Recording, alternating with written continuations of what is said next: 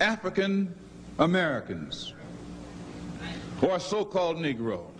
Uh, one, of the, one of the reasons that it is bad for us to continue to just refer to ourselves as so-called Negro, that's negative. When we say so-called Negro, that's pointing out what we aren't, but it isn't telling us what we are. We are African, and we happen to be in America. We're not American. We are people who formerly were Africans who were kidnapped and brought to America. We,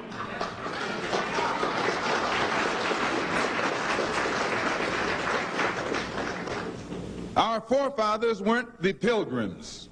We didn't land on Plymouth Rock. The rock was landed on us.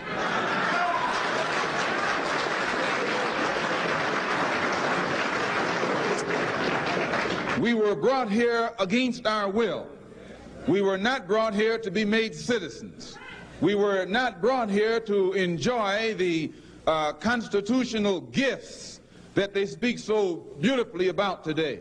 And because we weren't brought here to be made citizens today, now that we've become awakened to some degree and we begin to ask for those things which they say are supposedly for Americans, they look upon us with hostility and unfriendliness. So our unwanted presence, the fact that we are unwanted, is becoming magnified in all of America's preachments today.